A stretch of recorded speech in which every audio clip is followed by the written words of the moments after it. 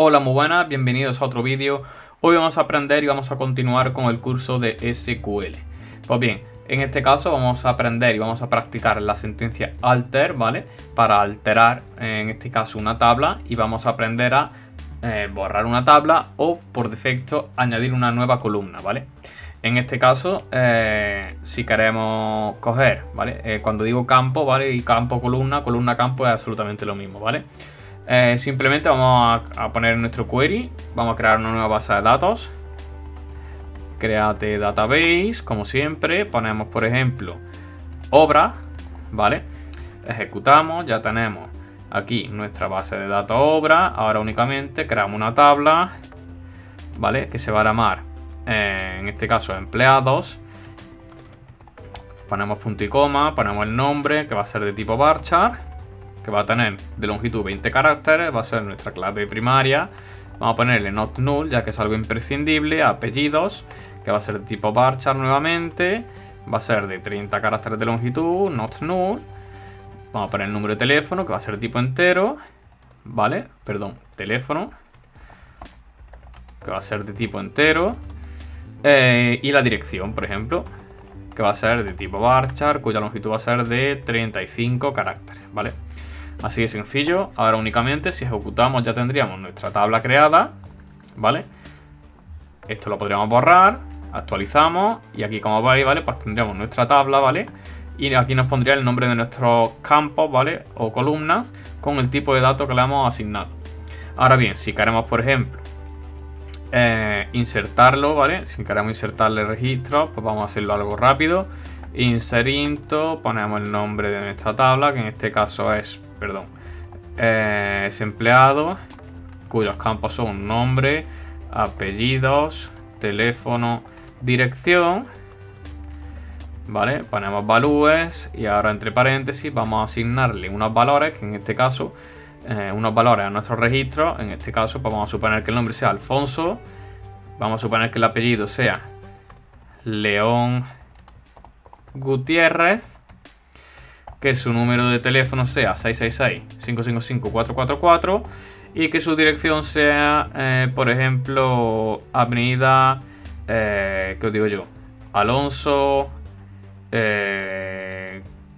Copérnico, por decir algo, ¿vale? Aquí me lo estoy inventando completamente, ustedes pueden poner lo que queráis.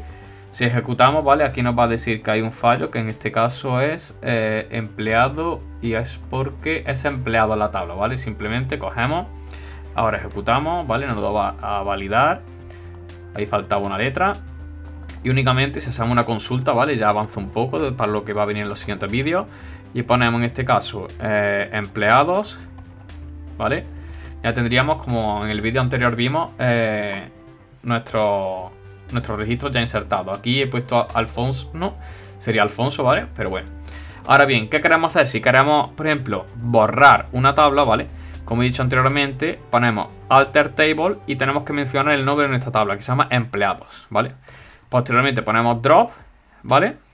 Column, indicándole que queremos borrar una columna y el nombre de la columna. En este caso vamos a suponer que queremos borrar la dirección. Pues si ponemos dirección, ¿vale? Punto y coma y le damos, ¿vale? Ya no habría borrado nuestra columna dirección.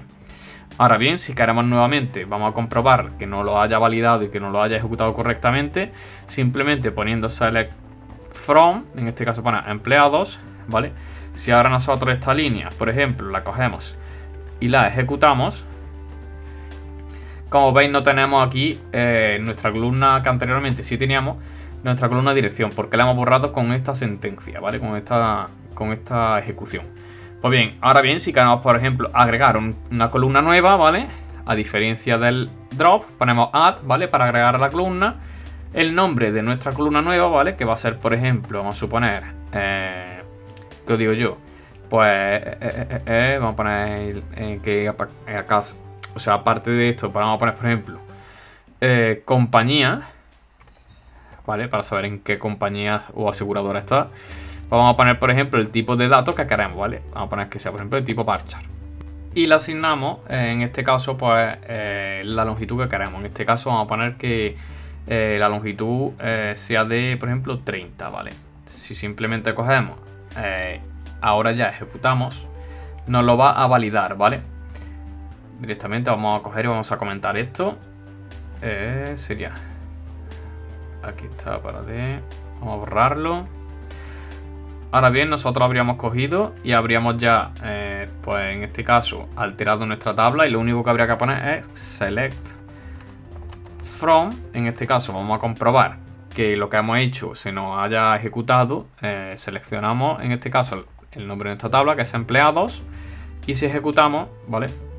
Pues simplemente tendríamos que coger, ¿vale? Le damos al rayito y como veis, ¿vale? Se nos ha asignado en este caso nuestro campo o nuestra columna compañía, ¿vale? Así sería todo, ¿vale? Espero que os haya servido el vídeo y nos vemos en el siguiente.